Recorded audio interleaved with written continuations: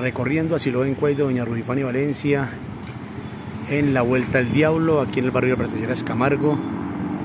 Está en la Vuelta al Diablo.